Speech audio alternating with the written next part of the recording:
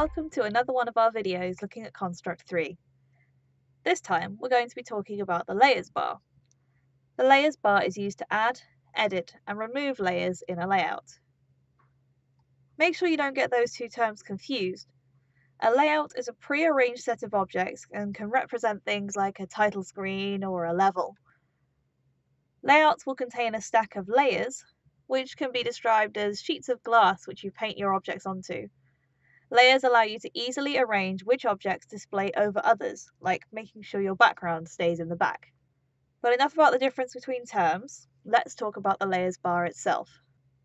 The default position for the layers bar is the bottom right hand side of the editor in combination with the tile map bar, but more on that in another video. But of course, as with all of C3's bars, you can put it wherever you want to. In the bar, you can see a list of all the layers associated with the current layout. Selecting a layer will highlight it and make it the active layer. This will display the layer's properties in the Properties bar and will be the layer in which all new objects are inserted into. The little number on the right hand side tells you the zero-based index of the layer. So if you need to enter a layer number in the event system, this would be the number you'd use. Though more often than not, it's easier to put in the full name of the layer as these won't change if you then decide to reorder your layers.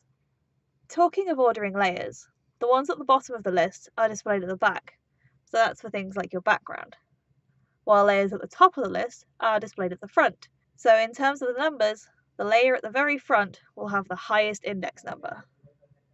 And if you want to reorder your layers, you can drag and drop them as you need to. Now, moving on, this padlock to the left of the layer name allows you to lock or unlock that layer.